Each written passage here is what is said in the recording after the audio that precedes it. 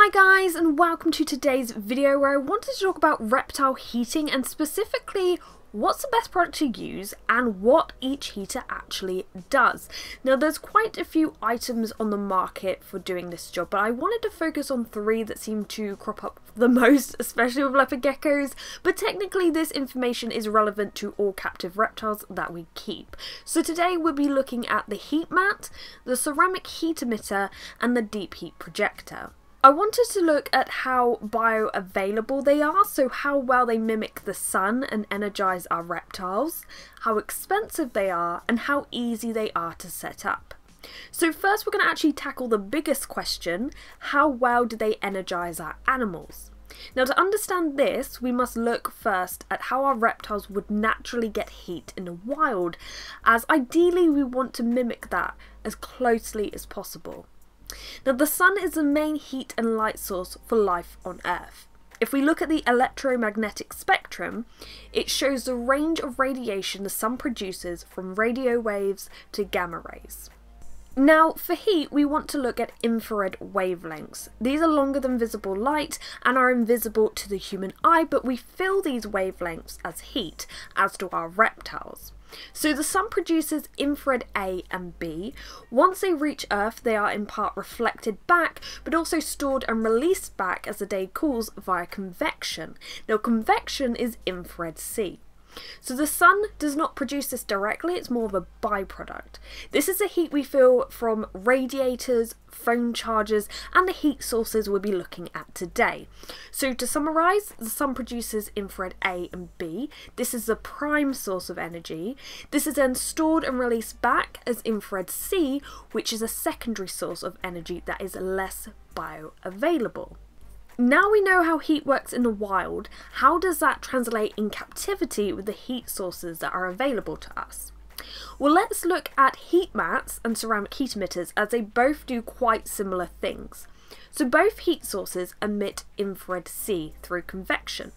Therefore, they only produce a secondary source of energy which is not as bioavailable as the heat the animals would naturally encounter in the wild.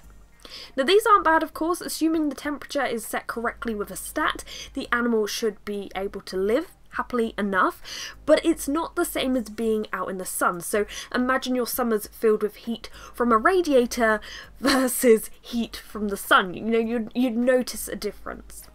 Now some people will use the ceramic heat emitter to heat the air, especially if they live in colder regions and the cold side of the tank gets a little too chilly for the reptiles and that's perfectly fine.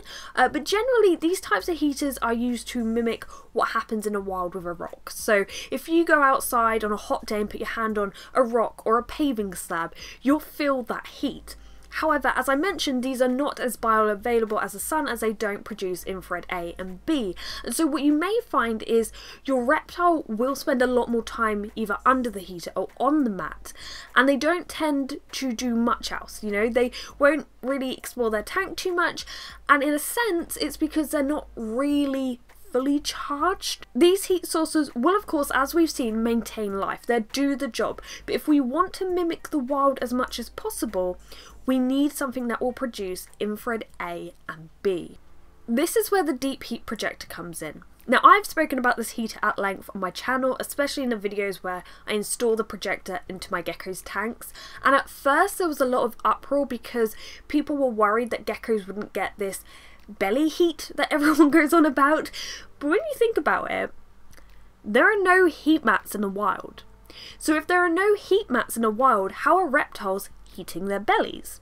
So as we discussed, the sun produces infrared A and B, it's then released back as infrared C.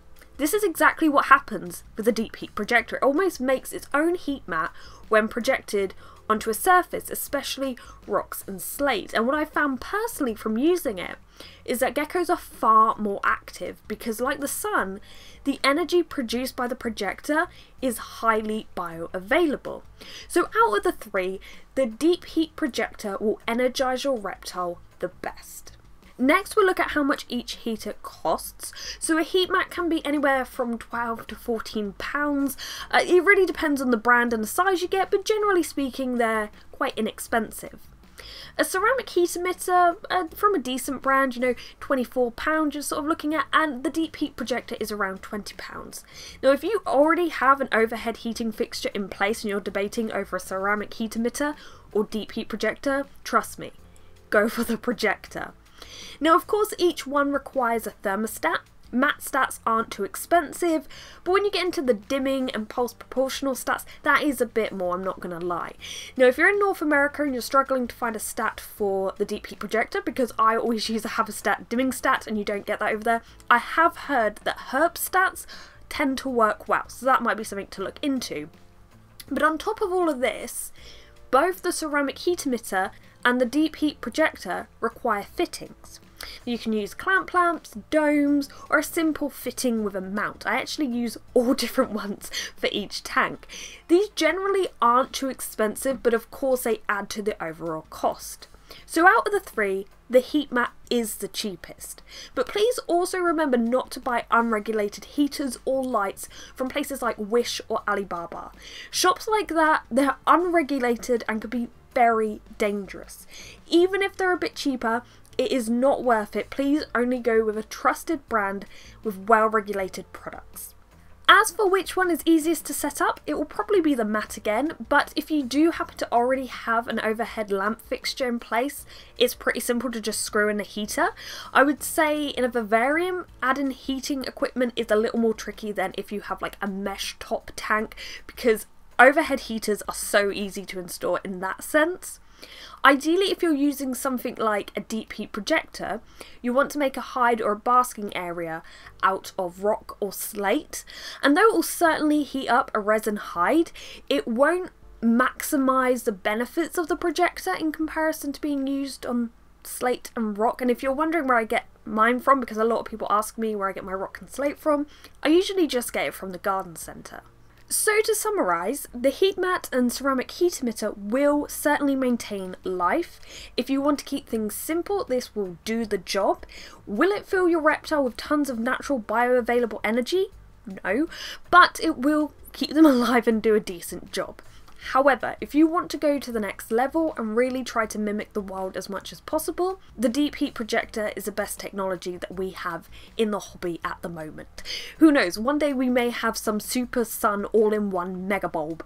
Um, that would be quite cool. I'm gonna Super Sun Mega Bulb. That's mine now. I'm gonna trademark trademark that. But of course, you know, I could go into more detail about recreating the entire spectrum of light and heat in our reptile enclosures and how that goes on to positively affect our animals. But I think Dillon from Animals at Home did a fantastic job at this in a video he did recently, so I will link that below so you can check that out. Anyway, I hope this video has helped. Um, I know I get lots of questions about heating, there's lots of confusion. Basically, all three of these will do the job of keeping your gecko alive. As long as they're controlled, you know, you're doing a better job than no heating. But, of course, some are just a bit better than others. But I'll pop helpful links in the description below, and uh, if you haven't already, please subscribe, it is much appreciated. But thank you for watching, guys, and goodbye.